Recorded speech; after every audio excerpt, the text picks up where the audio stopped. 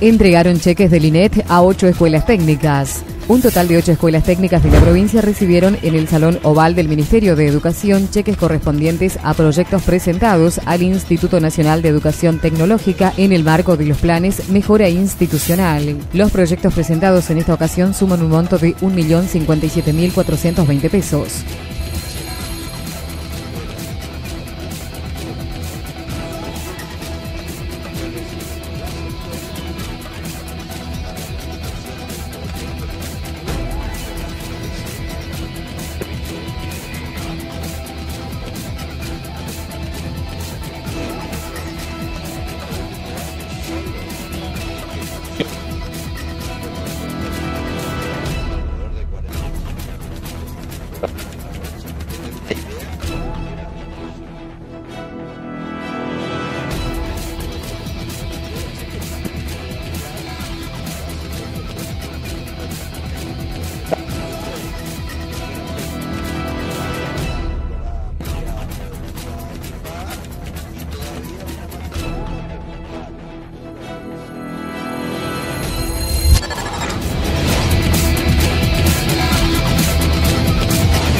Finalistas de Argentina, Brasil y Paraguay disertarán en Posadas en encuentro tecnológico.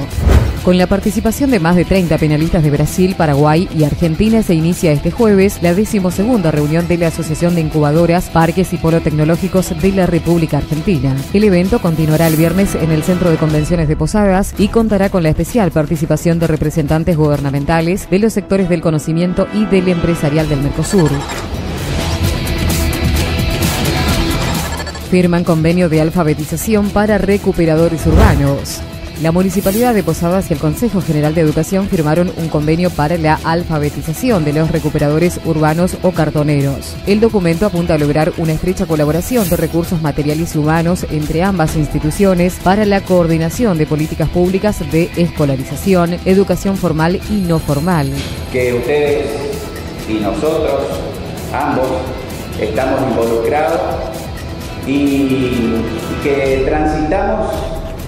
estoy hablando de la provincia y el municipio, un mismo camino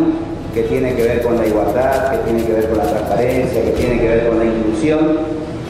Y a mí me parece que, este acto, este pequeño acto que estamos haciendo con ustedes, trabajadores de la ciudad, tiene que ver con eso, con la igualdad de oportunidades, como decía Fernando, con la inclusión. Y estaba pensando, estaba recordando recién que hace unos años Precisamente en el 2007 decíamos que hacía falta trabajo, después dijimos Posada crece más, y aquí nos estamos refiriendo, estamos refiriendo a un tema que tiene que ver con la dignidad del hombre y de la mujer posadeña, que tiene que ver con el trabajo, que tiene que ver con la prestación de servicios,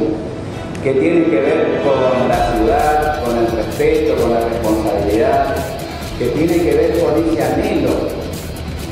que la mayoría o todos queremos que la ciudad de Posada sea esa ciudad próspera, esa ciudad que nos contenga a todos, esa ciudad inclusiva para la cual estamos trabajando en todos los ámbitos, de la presidenta de la Nación, del gobernador de la provincia, nuestra gestión municipal, esa ciudad que estamos promoviendo como ciudad turística,